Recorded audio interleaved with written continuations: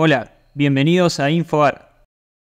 En este video abordaremos las últimas novedades relacionadas con las jubilaciones y pensiones otorgadas por ANSES en la Argentina. Los beneficiarios de jubilaciones, pensiones no contributivas y PUAM ya han comenzado a recibir el bono de 55 mil pesos que se distribuirá a lo largo de febrero. Sin embargo, la atención se centra en el mes de marzo, ya que se esperan aumentos que podrían estar vinculados a la inflación, lo cual sería un avance significativo para mejorar los ingresos de los jubilados y pensionados. Además, existe incertidumbre sobre la continuidad del programa alimentario de PAMI para los jubilados y pensionados afiliados a la obra social. ¿Qué sucederá con las ayudas alimentarias a partir de marzo? Esta incógnita, junto con otros detalles cruciales para este grupo de adultos mayores, necesitados de una asistencia urgente por parte del gobierno nacional, está generando preocupación en la comunidad de jubilados. ¿Se implementará la tan esperada tarjeta alimentaria para jubilados y pensionados? Los adultos mayores reciben una ayuda alimentaria de PAMI en lugar del tradicional bolsón de alimentos, lo cual es crucial para aquellos que enfrentan dificultades para acceder a una dieta adecuada debido a limitaciones económicas. Sin embargo, la continuidad de este programa está en duda y se desconoce si será reemplazado por la tan mencionada tarjeta alimentar por lo cual los jubilados han estado haciendo reclamos durante mucho tiempo. La incertidumbre sobre el futuro del plan alimentario en el PAMI persiste, ya que durante los últimos tres meses no se ha entregado el subsidio de 15 mil pesos que reemplaza el bolsón de alimentos.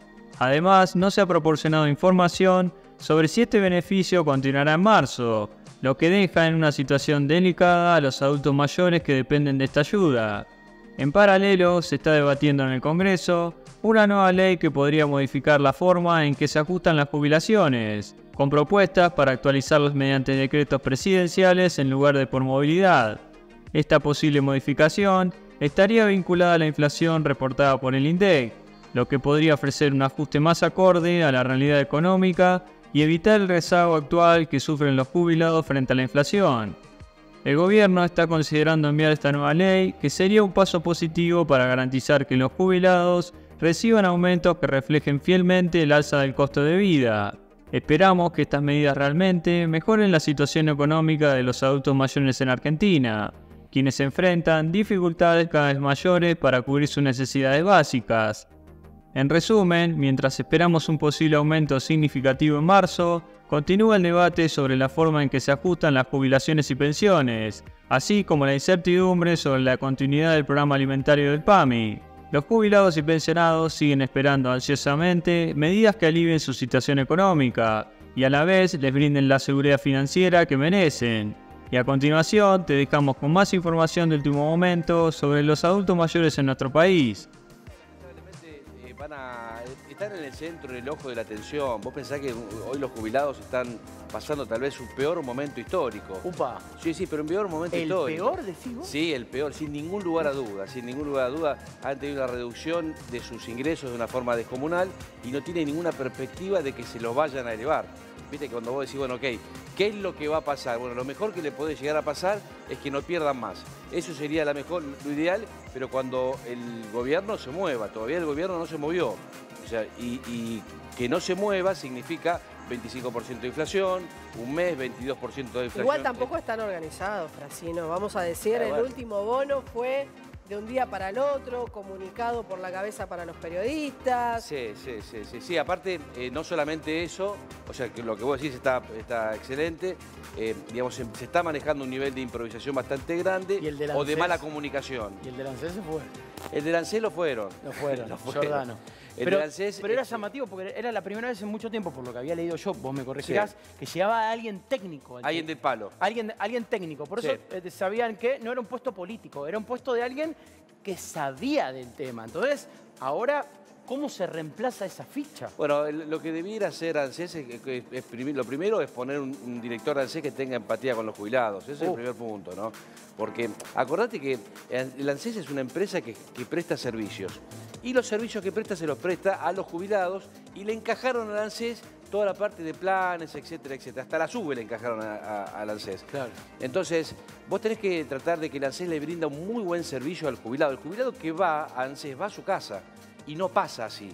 O sea, por más que hay, algunos empleados que entienden bien, otros atienden horroroso, Pero eh, vos fíjate que después de un, tuvieron que pasar varios días para que le den una cola preferencial a los jubilados con el tema de la SUBE. Lo preguntábamos ayer eso, Frasino. Lo preguntábamos ayer.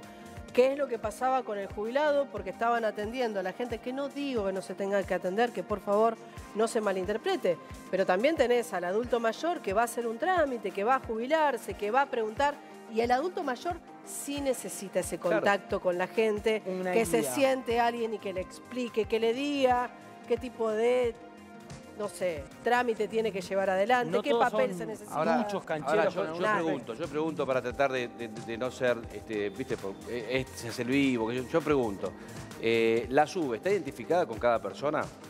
Debería. Debería. O sea, cuando vos sacás la SUBE, tenés que poner tus datos, ¿o no? Claro, registrarse. Claro. Entonces, ¿para qué hacen ir al jubilado? Si tienen el DNI, ¿por qué directamente no actualizan el, eh, digamos, está el padrón de la SUBE, el padrón de ANSES, lo, lo, lo, cruzan. Lo cruzan y ya está, y lo solucionan y automáticamente, como cuando vos sacás una entrada, que vas a la cancha, que pones tu carnet del club. Mirá, pareciera que Frasino estuvo en el grupo de trabajo nuestro, porque ayer fue un tema de conversación que teníamos diferentes opiniones, y yo lo que decía es, me llama muchísimo la atención que hayamos, estemos transitando temas que no están automatizados. Claro. Que tecnológicamente estemos seis pasos atrás, con todo respeto. ¿Sabes cómo se llama eso?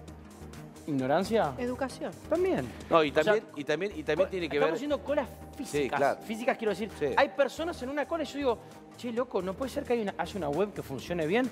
Haz una cosa, hace un plan de trabajo para estudiantes de la, de la UTN, de la UBA, de la Universidad de La Plata, de la Universidad tiene la tarifa social? La tarifa social, ¿quiénes la tienen? Y, vos entras en Argentina Cobar y lo ves. Lo tienen los jubilados, lo tienen las personas que cobran la asignación universal por hijo, tales planes. Vos cruzás las dos cosas, truc, truc, lo, lo mechaste en no, no, más de 10 minutos tenés todas las subes actualizadas. Me, parece que... Pero el problema es, el problema es eh, que en realidad las tarjetas SUBE en algún momento comenzaron a venderse en cualquier lado o a darse y a entregarse en cualquier lado. Bueno, que no la tenga registrada... Vos lo voy a comparar, ¿sabes con qué, Frasino? Con lo que son los chips que no estaban identificados. Claro. Cuando vos lo comprabas en un, no sé, kiosco o lo comprabas en la calle, en un momento lo vendían en la calle, mm. chicos. Y si vos no ponías ese chip a tu nombre, era un chip que era de un NN. Bueno, las tarjetas SUBE ocurrió exactamente lo mismo. Hay algunas que si vos las sacás en los lugares, en las terminales en realidad que están identificados con SUBE, sí o sí le tenés que dar tu documento y la ponen a nombre tuyo. Si vos la compras en un kiosco... Bueno, pero ahí que el trámite ese lo tengan que hacer esas personas, pero después limpiás millones de subes que, que se... Pues aparte, ¿Qué, sentido tiene? Porque ponele que una señora jubilada tiene la tarjeta y te la da vos. Vos también, digamos, si querés hacer la truchada, la van a hacer. Pero en realidad lo que es la actualización de la tarjeta no debiera ser complicado, la verdad es eso. Yo estoy, yo estoy igual que vos. Por favor, suscríbete al canal y activa la campanita para enterarte de todas las novedades. Dejanos tu comentario, dale me gusta y compartir el video con tus conocidos. Gracias y hasta el próximo video.